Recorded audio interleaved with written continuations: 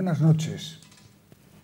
Cantabria desde la Solana aborda hoy con dos ilustres investigadores de nuestra tierra nada menos que las nuevas investigaciones que se están llevando a cabo sobre uno de los capítulos que yo creo que más literatura científica ha producido, que es el de las guerras cántabras, aquellos combates de los antiguos pobladores de nuestra tierra frente al Imperio Romano. Y para hablar de ello y de los últimos eh, trabajos, eh, excavaciones que se han llevado a cabo, están aquí con nosotros esta noche Eduardo Peralta. Buenas noches. Buenas noches.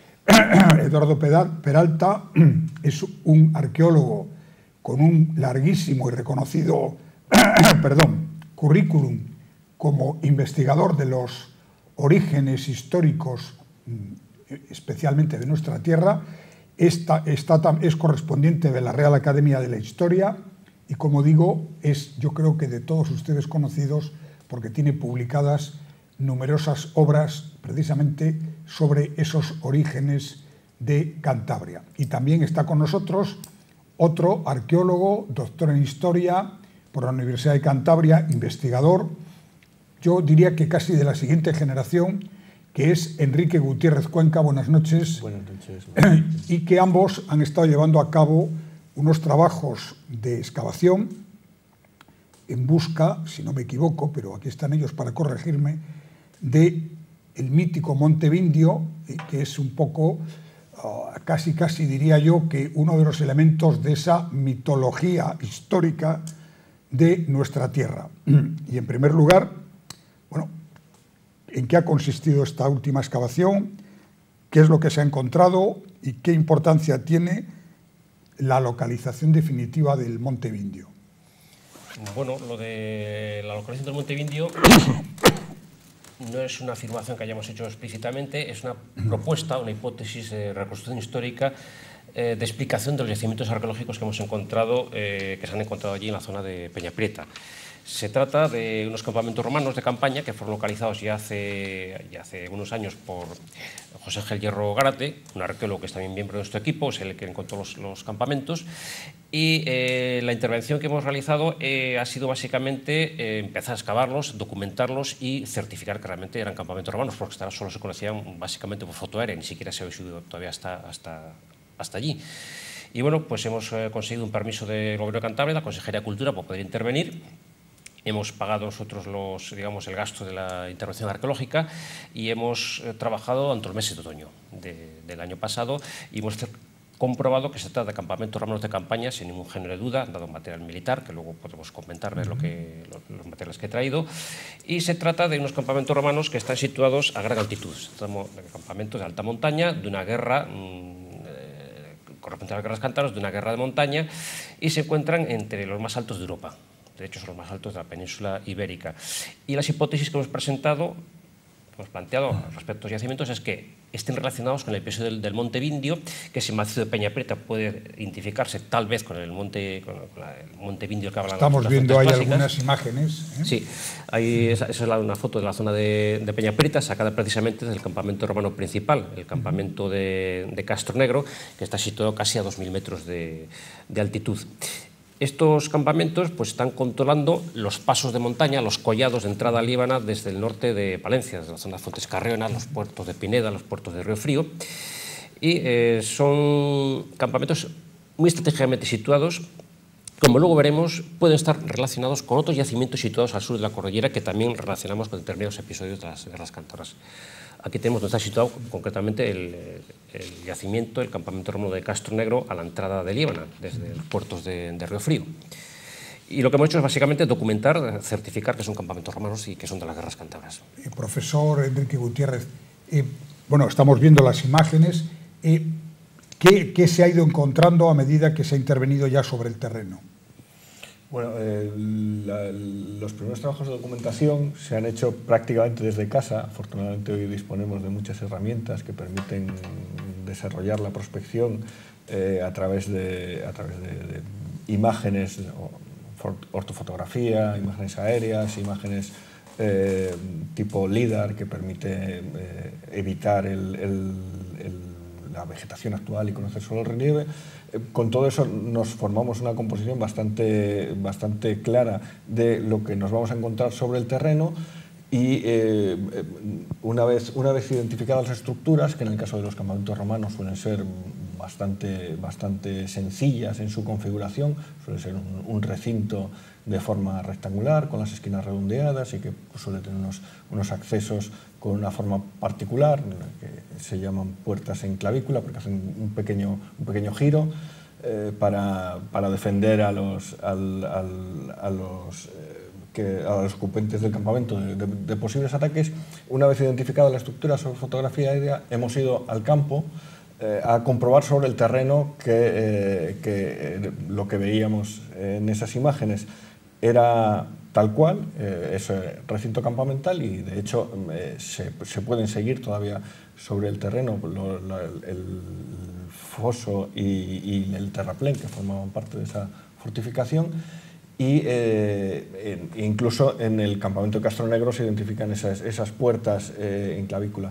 Y eh, el siguiente paso, una vez identificadas las estructuras, que desgraciadamente por el tipo de paisaje, ahí el, alta montaña provoca bastante erosión, están, son apenas perceptibles, se dificulta bastante los trabajos, los trabajos de, topografía.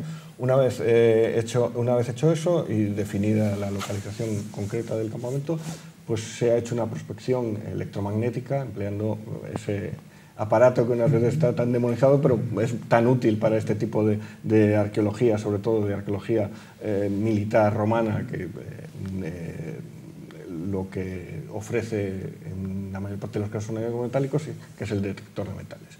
La metodología era muy sencilla, hacíamos unas pasadas aleatorias, sobre todo en aquellas zonas en las que eh, había menos vegetación para, para, determinar la posición de los hallazgos. Y una vez localizados, eh, hacía una pequeña excavación, eh, si eran objetos de interés se recogían y se tomaban unas coordenadas para tener después unos mapas de dispersión de todo el material que permita pues, reconstruir más o menos cómo era la estructura interna del campamento romano. Bueno, y profesor Peralta, si, los que no sabemos de esto entendemos que los romanos si instalaban un campamento en ese lugar a esa altura era porque estaban acosando o, sitiando algún campamento cántabro o, por qué? qué, razón para tener unos campamentos militares en lugares inhóspitos con un clima duro y a esa altura.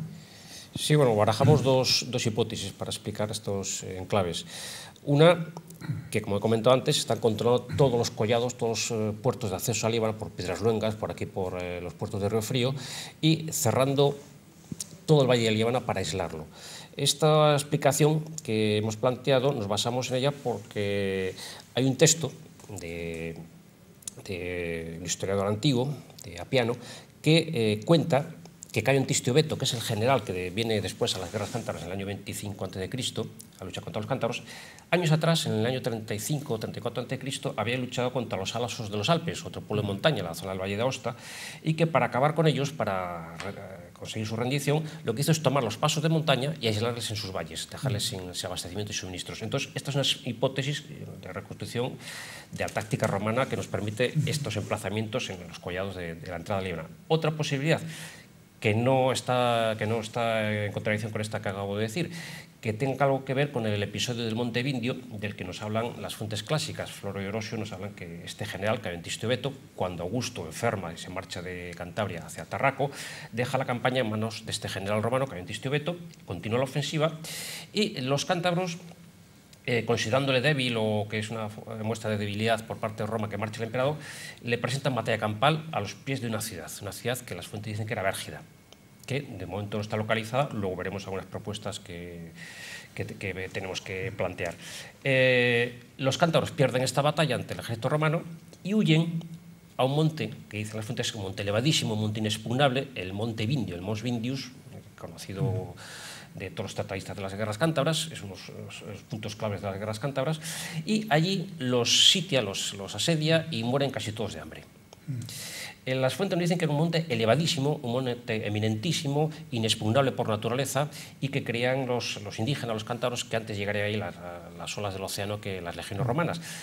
Y bueno, pues eh, lo que tenemos en Peña Prieta se parece mucho a la descripción de las fuentes clásicas. Es el monte más elevado de la zona, visto desde la meseta, y al sur de la cordillera, como luego veremos, pues hay una serie de ópida, de grandes castros de los nígeras, que efectivamente hemos documentado arqueológicamente que también fueron atacados. Cualquiera de ellos puede ser esta vergida de las, de las fuentes clásicas. Muy bien, eh, vamos a cambiar un poco el foco. Bueno, investigar sobre el terreno, hacer arqueología, eh, requiere eh, fondos monetarios, requiere dinero para poder sufragar no solamente el trabajo en el terreno, sino, me imagino, que los posteriores investigaciones con los elementos que se van recuperando o que se fotografían, etc. ¿Y ¿Con qué ayudas han contado? ¿Cómo está ahora mismo eh, el apoyo de, de las autoridades, vamos, de los fondos públicos, del gobierno, para este tipo de trabajos?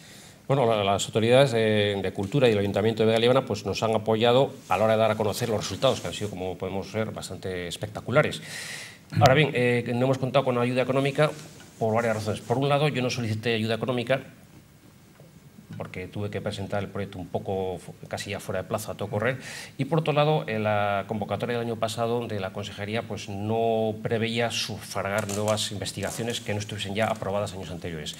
Entonces, eh, lo hemos financiado nosotros, eh, en plan amigos, como hemos podido. Eh, hemos actuado varias personas de mecenas de, de, la excavación y hemos podido hacer lo que hemos podido hacer con el dinero con el que hemos contado.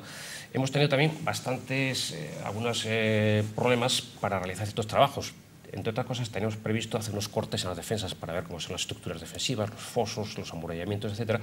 Esto hemos tenido que dejarlo para otro año, intentaremos hacerlo este año, porque nos llegaron muy tarde los permisos del Servicio de Montes. Hay que tener en cuenta que la zona que hemos trabajado es una zona que está protegida, entonces no se puede circular con vehículos todoterreno a no ser con permiso, porque es zona osera. Entonces, esos permisos nos llegaron muy tarde y nos obligaron a trabajar ya en otoño.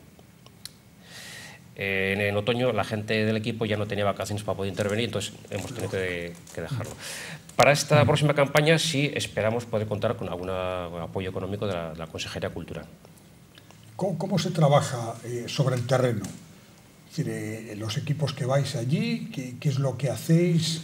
¿Cómo recuperáis los materiales que haya, desde restos arqueológicos? Estamos viendo ahí, por ejemplo, me imagino que esos son puntas de flechas, etcétera, o monedas o vasijas. ¿Qué es lo que, ¿Cómo se trabaja y qué es lo que se encuentra con más frecuencia?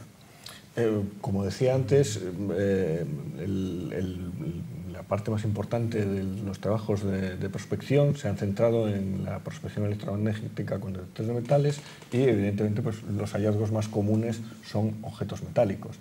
Eh, normalmente son objetos de, de pequeña entidad eh, pero de gran relevancia. Eh, por ejemplo, monedas. Eh, en este caso ha aparecido una moneda acuñada en, Calahorra, probablemente de, la época del Principado de Augusto. Esto es el momento anterior a las guerras cántabras, que nos fecha con bastante precisión pues, el, episodio, el episodio bélico en en su momento eh, adecuado. En, este caso esperábamos tener una cronología en torno al 25 a.C., que es el momento en el que las fuentes clásicas sitúan ese episodio del Monte Vindio y pues, el hallazgo de esta moneda, que además aparece partida por la mitad, algo muy característico en los eh, establecimientos militares porque tenían, tenían eh, poca moneda fraccionaria y pues, pues muchas veces para, para, hacer pequeñas compras recurrían a partir por la mitad las monedas de, de, de valor as de, que tenían. Y es, como digo, bastante frecuente en todos los campamentos del Imperio Romano encontrarse con esas monedas partidas, en este caso de, del, del, Principado Augusto, procedente del Valle del Ebro, como la mayoría de las monedas que encontramos en los campamentos de las guerras cántabras, son emisiones seguramente hechas eh, para cubrir la necesidad de pagar los salarios de la tropa en ese momento, también han aparecido elementos relacionados con el armamento. Eh, esto es, es, interesante porque hasta ahora los hallazgos eh, en los campamentos romanos del actual territorio de Cantabria habían sido bastante escasos, sobre todo eh, los, los, hallazgos en la zona de, de, en los campamentos de Cildá y del campo de las Cercas, situados en el interfulio Plas Besaya, eh, eran, eran algo raquíticos eh, debidos, en cierto modo, al, al, tipo de suelo y al estado de conservación. Cuando aparecían cosas, a veces pues, tenían una, un aspecto informe y no se sabía muy bien eh, con qué se podía identificar. En cambio, afortunadamente, en Castronegro y en, y en Robadorio, en estos lugares en los que se ha intervenido este año, gracias a las condiciones de, menor humedad y, el, tipo de suelo menos ácido, ha permitido que eh, muchos de, los objetos aparezcan prácticamente con, su forma original, eh, apenas oxidados y muy bien conservados, y entre ellos pues, eh, tachuelas de, sandalia, que es un hallazgo muy natural en los campamentos romanos, o elementos de armamento que apenas teníamos en estos otros campamentos de la Comunidad Autónoma de Cantabria. Sí los hemos encontrado, eh, los, trabajos de Eduardo Peralta al sur de la cordillera, en los campamentos del norte de Burgos y norte de Palencia, que han sido mucho más ricos en ese tipo de hallazgos, cambio en, Cantabria nos encontramos con que nos faltaba esto y ahora lo empezamos a tener, con lo cual añade un valor, se cabe mayor a, esto, a los resultados de estas, de estas investigaciones. Bueno, un, tema que, que está en, las tertulias, que está un poco en la calle, en la divulgación histórica, es realmente eh, cuánto hay de eh, hechos demostrados de ciencia histórica en este caso, y cuánto hay de, de, fabulación, de leyenda en las guerras cántabras y en el indómito pueblo cántabro frente a Roma, etc. ¿Cuál es históricamente, con rigor, la realidad de, resumiéndolo mucho, de ese enfrentamiento? Desde luego, a nivel popular hay bastante chauvinismo en este tema. Hay una visión popular de las guerras un poco folclórica, pero desde el punto de vista científico, arqueológico, lo que se ha podido documentar de 20 años para acá, no solo nosotros, sino todos los investigadores que se han sumado a las investigaciones de las guerras en Asturias, en Galicia, aquí en Cantabria y el norte de Castilla, pues se ha podido documentar que hay varias fases de la conquista. Una primera fase que eh, fue la ocupación, el asedio y la destrucción de las grandes ciudades, de los grandes ópida cántabros del sur de la cordillera, el Monte Bernard en Aguilar de Campo, Santiago de la Peña, eh, el de la Loma de Santiago de la Peña, donde yo excavé, el Horneo Santa Marina en Cantabria, las Rabas también en Cantabria. Todos esos castros del sur de la cordillera han sido sistemáticamente ocupados, destruidos, desalojados sus habitantes y se han dejado encima de ellos guarniciones militares para que no sean reocupados. Esa es la primera fase que se ha documentado arqueológicamente. La segunda fase es el, paso de la, cordillera, de la, cordillera, cantábrica a través de los cordales que la cortan perpendicularmente en dirección a los puertos de la costa. El primero que se documentó es aquí en Cantabria, el de, la Sierra del Escudo, el interfluyo Paz donde está Cildá, la Espina del Gallego, el Campo de las Cercas. En Asturias se han documentado eh, pasos similares en el, cordal de la Carisa, el de la Mesa, etc. O sea que eh, hay varias fases ya perfectamente documentadas arqueológicamente. Eh, asociado a ellas tiene que estar relacionado el famoso desembarco, los desembarcos para abastecer a las, tropas que avanzaban desde el sur, que la, flota que vino desde Aquitania. Y tenemos una cuarta fase, que es la de las sublevaciones. Las sublevaciones de final de la guerra, que hemos documentado un yacimientos muy importantes en Sotoscueva, en el norte de Burgos, y al limítrofe con Cantabria, en la zona del Duya, donde hay un gran asedio también que correspondía hacia el 19 a.C., la campaña de Agripa, las últimas sublevaciones. Y por último, una eh, última fase de documentar arqueológicamente es la de la ocupación de todo el territorio de la antigua Cantabria con guarniciones militares romanas en los, ocupando los castros, los cordales, etc.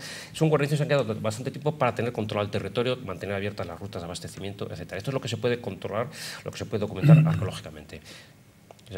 guerras que aparcaron a todo el territorio y con gran intensidad. y además eh, eh, hay otro, otro asunto. bueno, yo me atrevo ahí de, lanzarle una, pregunta que lógicamente sé que no científicamente no es fácil de responder, y es, bueno, en el supuesto teórico mm, antihistórico de que eh, los romanos no hubieran ocupado la Cantabria actual y no nos hubieran romanizado, ¿qué sería del pueblo cántabro? ¿Qué nos han aportado los romanos? ¿Qué les debemos a Roma? Al revés, ¿qué, qué nosotros hemos aportado a Roma? Son futuribles, pero bueno, voy a, voy a, voy a participar del juego.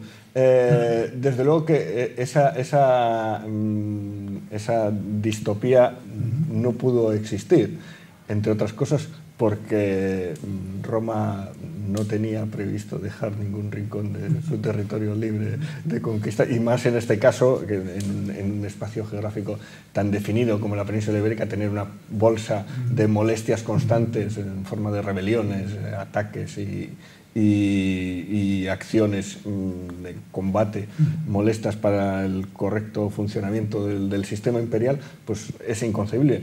Eh, en, cualquier caso, es cierto que es, una zona que si no se romanizó antes o si no pasó antes eh, a, ser, a ser conquistada, era porque quizás no tenía un interés mayor que el de algunos recursos materiales de escaso interés.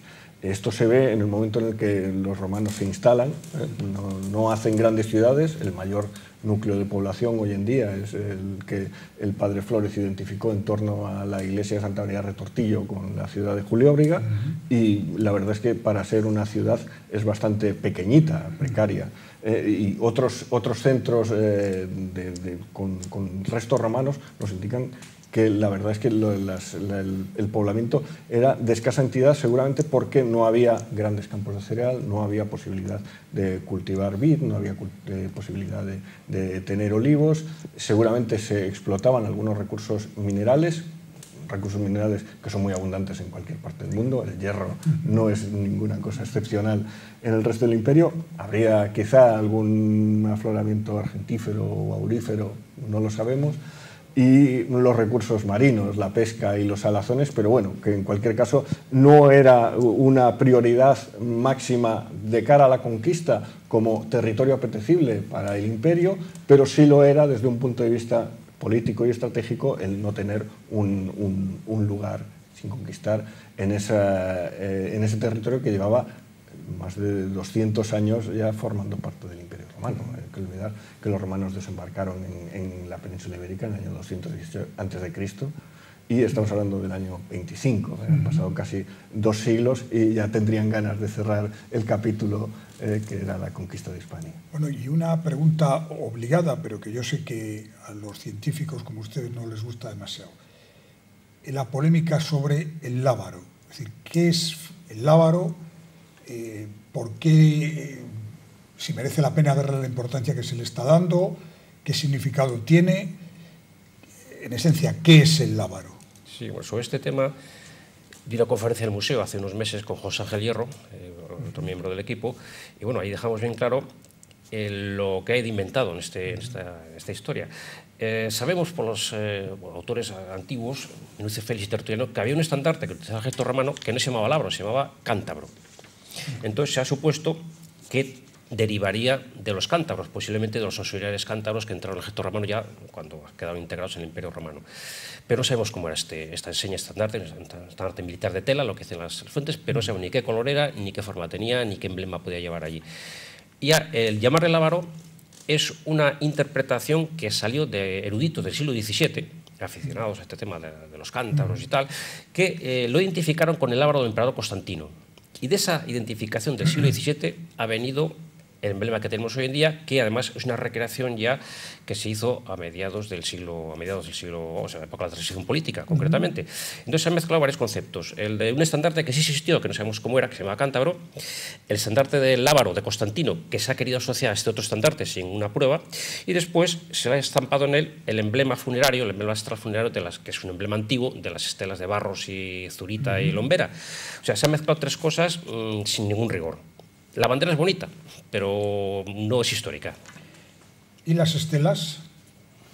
Las estelas, yo como... Que están en el escudo de Cantabria, una de ellas. Eh, y, no debería ser de otra manera, porque probablemente sea uno de los objetos que mejor define eh, o, más singulares dentro de, de, todos los elementos que tiene el patrimonio arqueológico regional y que, como dice, como dice Eduardo, se vinculan con los antiguos cántabros porque eran elementos relacionados seguramente con sus eh, eh, manifestaciones funerarias. Entonces, mm, desde luego que, que no hay, ahí no debería haber ningún tipo de controversia para una comunidad autónoma que se llama Cantabria, eh, es una manera adecuada y, sublime de, representarla con esa, con esa simbología, que mm, debería respetarse un poco más me, explico y me mojo en este caso. Eh, hace, hace no mucho tiempo, hace unas semanas, unos meses quizá, han puesto una representación de una estela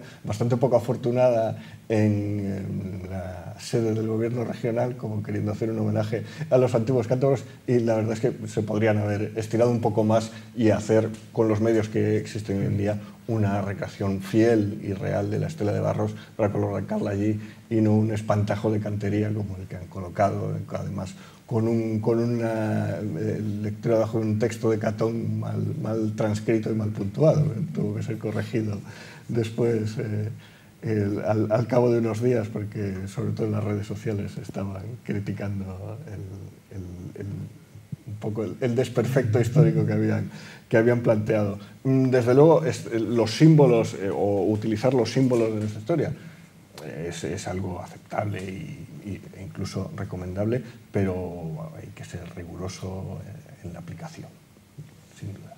Pues eh, muchísimas gracias a Eduardo Peralta, a Enrique Gutiérrez Cuenca y por esta conversación quedaría todavía para mucho más porque se nos quedan eh, muchos temas aquí sobre la mesa, pero el tiempo eh, ha terminado, se ha consumido la media hora de esta parte del programa Cantabria desde la Solana y esto no empece para que en el futuro pues vuelvan a pasar por nuestro estudio tanto Enrique Gutiérrez como Eduardo Peralta para seguir hablando de esa historia antigua de Cantabria que se remonta nada más y nada menos que a tiempos de antes de Cristo, es decir, hace ya más de 2000 años.